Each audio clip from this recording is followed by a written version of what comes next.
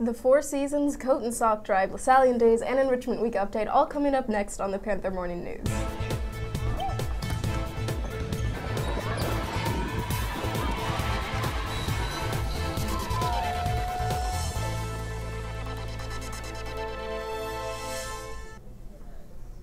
Good morning, St. Mary's. I'm Tommy. And I'm Molly. And in Student Life News, we are ending our Spirit Week with Seasons Day.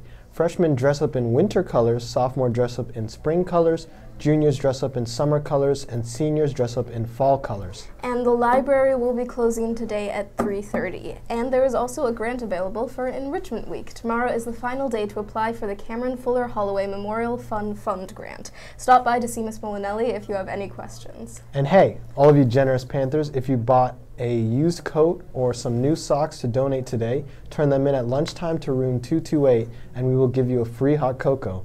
Remember to clean out that coat closet this weekend and bring in all of your old furs and disco wear. But check the pockets first. And LaSallian Days are next Thursday, February 2nd, and Friday, February 3rd. The rosters are now posted in St. Joseph's Hall in the gym windows. Make sure you check your program details for each day. And we head over to Studio B with our wellness ambassadors, Daphne and Laura.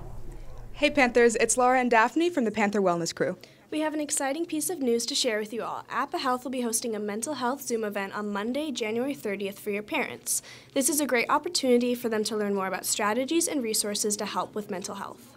Make sure to remind them that it's coming up next Monday on the 30th. There's an email that was sent to them with more details. Thank you. Now back to announcements. And now here's Arjun with your Panther Athletics. With no games yesterday, we don't have much in the way of sports news. But later today, it's a busy Thursday with boys basketball traveling to Salesian in a triple header game or battle against the Pride. And in soccer, the women travel to Richmond while the men head over to El Cerrito for a couple of important matchups.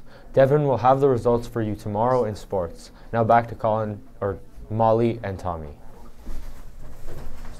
Thanks, Arjun, and a very happy birthday to Marcus Perkins.